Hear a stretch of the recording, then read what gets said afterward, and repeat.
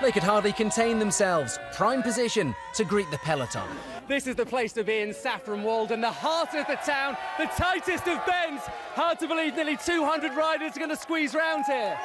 It looks like it's going to be a good race. The sun's out, so this corner's the best place in town. The crowds, the scenery, it's the best sporting event I've ever been to. There they are, the chasing pack known as the Peloton, just 12 miles in, already four minutes behind.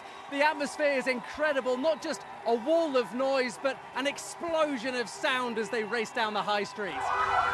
What a view of the action area. So far, so good. All the riders round safely as they head off out of town and into the heart of the Essex countryside.